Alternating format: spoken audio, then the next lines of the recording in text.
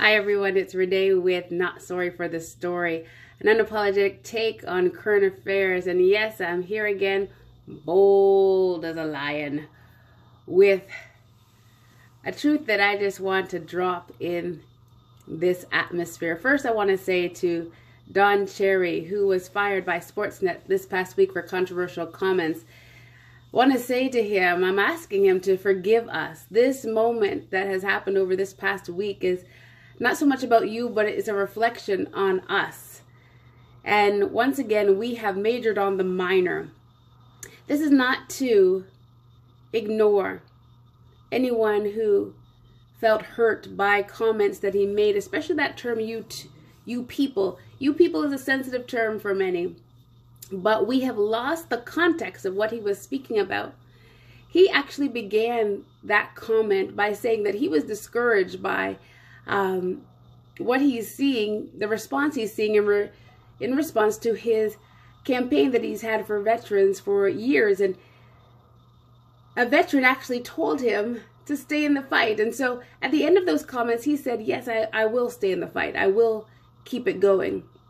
But because he used the term you people, and because he mentioned about coming here and wanting um, to have the milk and honey of the land, that got blown up and everything else fell to the ground. Well, I want to say that this Canadian caught it.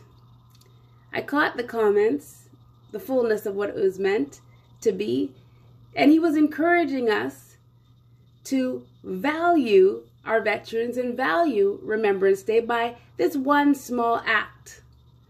I don't think that any of us can really argue with that main point. Of course, in the flurry of things, that main point wanted to be lost because people got offended. Once again, our sensibilities, our experience, not liking certain terms, we lost the main message. Can I say sometimes that there is truth in something, but the way it's said is not always right? And we want to major on people saying things right more than the truth. And this is where we're going to be in big trouble in the days ahead unless we learn to value truth no matter what package or instrument it comes through.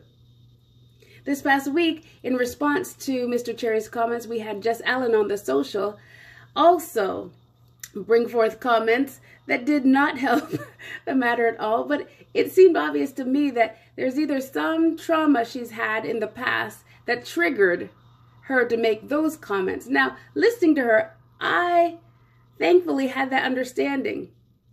And I realized, okay, yes, your comments weren't helpful either, but I had that understanding. We need to have understanding in between us, not just hear comments and then want to shoot and fire one of our own. We need to be able to take what is being said and take it from our elders. I think that this past week was a very shameful example of how we are willing to do away with our elders in our community because they don't speak to us in a way that is palatable for us. Shame on us. But I trust, even in the midst of this scenario, good will come from it. We're coming out of a divisive election where Politicians have said now they're going to seek to have a more balanced tone. Following the election, um, I had this shirt created. Thank you, Mr. Pro. It says unity is our strength because diversity is not our strength. It's unity. And this came this past week to again attack our unity. But I trust that through it all, we will stand united, province to province, territory to territory, from sea to shining sea. And we will stand on guard for this nation and do whatever it takes to see that we stay unified. Take care and let us keep on standing on guard.